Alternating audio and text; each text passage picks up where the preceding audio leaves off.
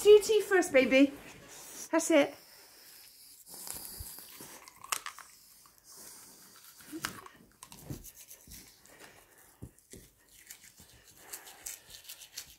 So it's so easy to clean the doggy's teeth.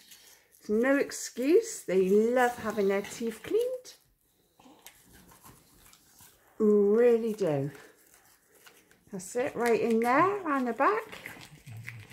That's it, he loves it, bless him.